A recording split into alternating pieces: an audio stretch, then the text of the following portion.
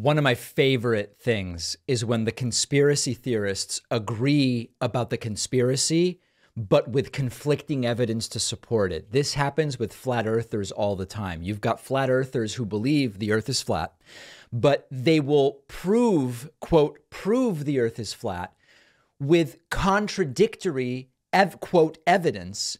And one of them has to be wrong. And I just absolutely love it. And we have an example from CPAC.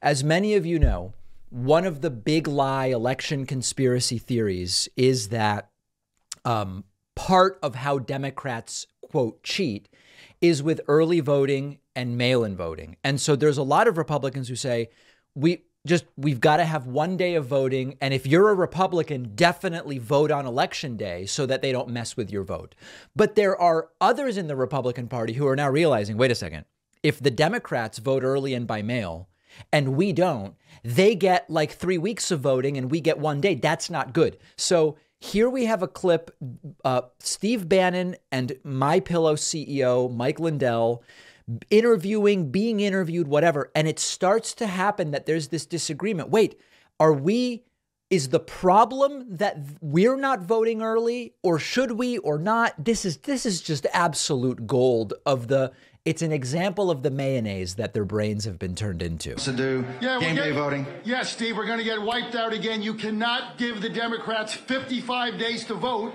and we have 15 hours. There's no mathematical equation that is going to win you an election. It's great to talk about. It's fun. You get fired up. They've got 55 days to get ballots in, and we're giving ourselves 15 hours. If we continue this, we'll never win again. Now, I don't think this guy's wrong in the sense that there is no voter fraud the way they claim there is.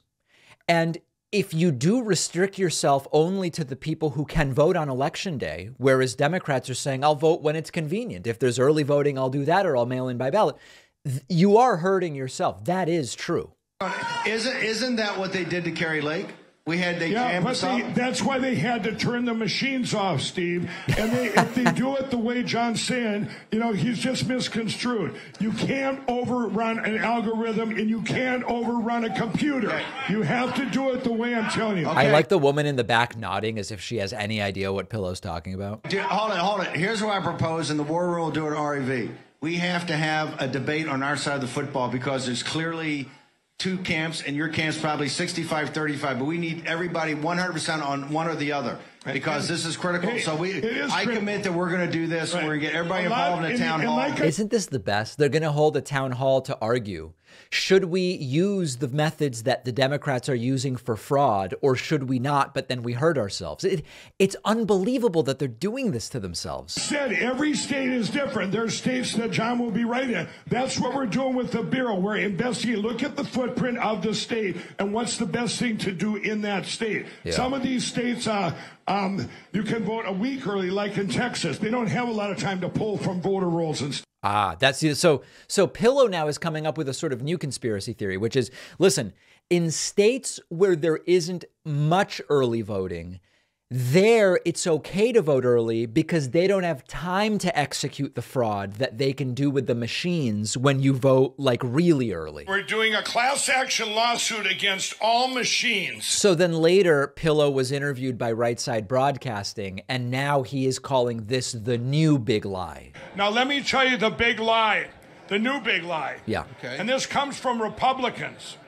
And it's most of it's the establishment, but there's a few people in our in here that still that they they because of what happened in Arizona they believe this.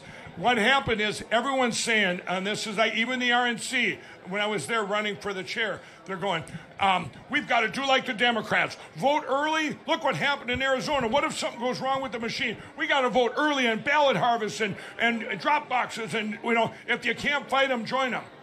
If you do that, we lose our country. We have fought two years to do same day voting, get rid of these machines. Two years, you're going to destroy everything we fought for. Now, the funny thing is, Pillow has been fighting for two years, but they're not any closer to getting rid of early voting and mail in voting. This is fantastic. And this is the exact type of fight that we should allow them to have amongst themselves while we just remember, hey, let's vote. Let's let's vote however it is, because these stories about widespread election fraud have not been substantiated in the least. But we want them wasting their time with this sort of nonsense because it's a black hole for them. It's a complete and total black hole.